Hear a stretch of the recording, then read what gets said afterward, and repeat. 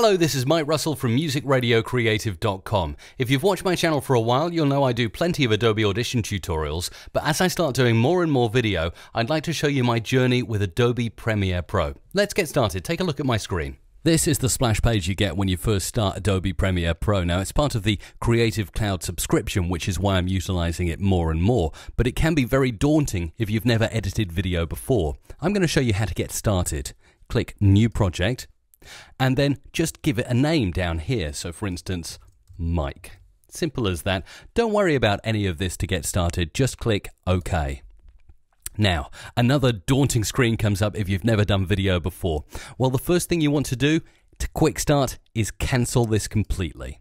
Don't worry about that, and then you'll get the Adobe Premiere Pro workspace. Now, there are lots of different windows, and I'd like to go into more detail as I create more Adobe Premiere Pro tutorials. But first of all, I wanted to just bring in a few videos I've shot on my Canon 60D camera and drag this one in. Now, you simply drag and drop it here into the bottom left project window. That will import your file, and very shortly it'll be there and available to use. There it is. Now, how do you get it from the project window into the timeline? Clicking and dragging won't work. By the way, if you hover over it and move this, you can actually see the video that you've shot.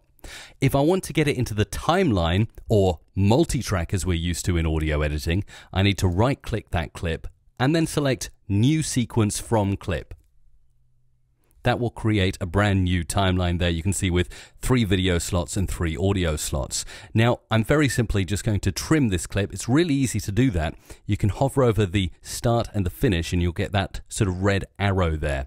So if I want to trim that maybe to where I start panning the camera, which is about here, let's trim that right the way down there. And then at the very end, We'll just trim it in a little bit because there's a camera shake at the end.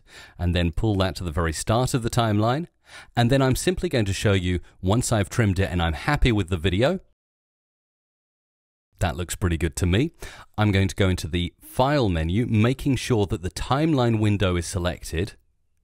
Then I'm going to go to Export, Media, and then I need to select formats. Now, this is where you can get stuck again. There are so many formats for video, it can be quite confusing. It's not like the WAV and MP3 world of audio.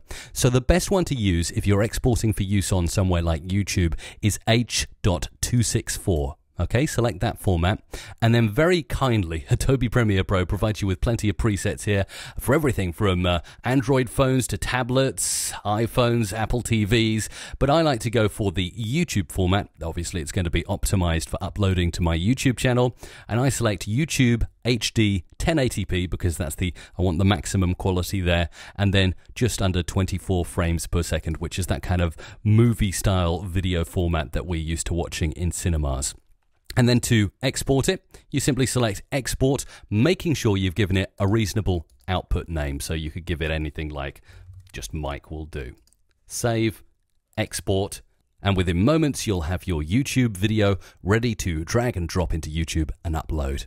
I hope you enjoyed this very brief introduction to Adobe Premiere Pro. I will still be doing plenty of Adobe Audition tutorials on my channel, but I wanted to introduce you from an audio world into video, especially if you're taking full advantage of the new Adobe Creative Cloud subscription that gives you software like Premiere Pro. So if you want to see more tutorials in Premiere Pro, I'll be making them as I go along and as I learn myself. So when I learn a new trick in Adobe Premiere Pro, or I want to know how to do something, I'll learn it and then create a video for you.